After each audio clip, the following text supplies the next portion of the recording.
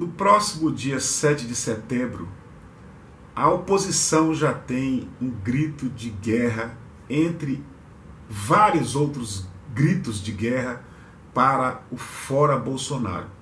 E esse novo grito de guerra foi criado pelo próprio Bolsonaro num evento religioso, como já falamos aqui no canal, lá em Goiânia, Goiás, quando ele disse que o futuro dele é estar preso, morto ou obter vitória.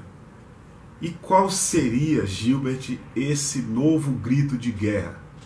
Um, dois, três, Bolsonaro no xadrez. E por quê? Morto, ele não vai ser, tem que ficar vivíssimo aí até velhinho para poder responder na justiça. Vitória, que ele entende como golpe, ele não tem condições de dar. Todo mundo já falou, todo mundo já sabe, todo mundo acompanha aí a política brasileira. Ele está isolado, não tem apoio de ninguém para dar golpe, a não ser esses malucos que defendem aí intervenção militar, AI-5, lá do cercadinho, e os apoiadores que ainda sobraram pelo país, então não tem como dar golpe. Então sobra o que? A prisão. Sobra a prisão. O Haddad, o Haddad, nós fizemos um vídeo sobre isso aqui no canal, defendeu, é, disse que Bolsonaro já está antecipando um possível pedido de indulto, de perdão, para não responder na justiça. O próprio Haddad disse que é contra indulto a Bolsonaro, perdão a Bolsonaro.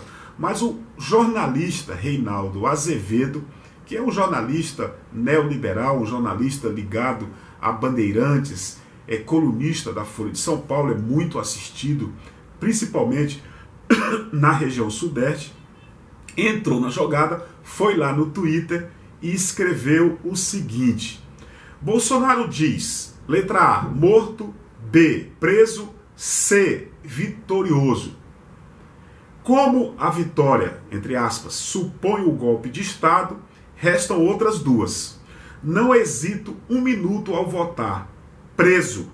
Eu sei que todo mundo morre um dia, mas antes, a cadeia. Então tá aí Reinaldo Azevedo, no Twitter, defende a prisão de Bolsonaro. O que você defende? Escreva o teu comentário. Precisamos debater a política brasileira, tá certo? Se inscreva no canal, fale do canal para teus amigos. Estamos muito próximos dos 120 mil inscritas e inscritos. E se você puder e quiser, torne-se membro ao membro. Muito obrigado Vamos debater. Muito obrigado e até o próximo vídeo.